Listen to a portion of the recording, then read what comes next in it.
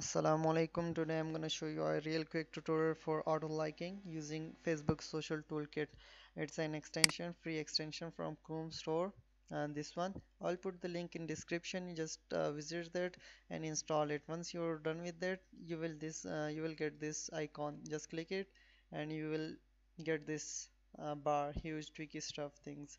Uh, but make sure you are logged in with your Facebook account. In this tutorial I will just covering this one. Click all like button. This will just uh, like all uh, posts from different you can say all from your friends okay?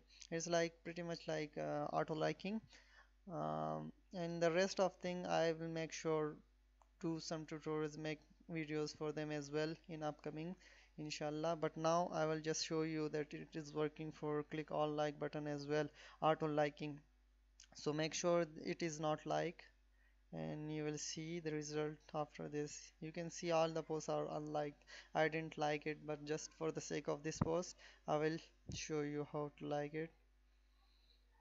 Mm, yes just open it simple simple enough and then click this one. Click all like button.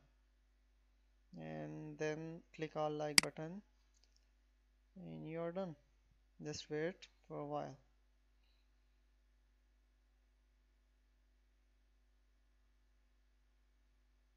Okay it's done. All like buttons are clicked.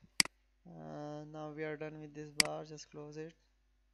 And it will say to refresh the page but I won't do it because I have to show you.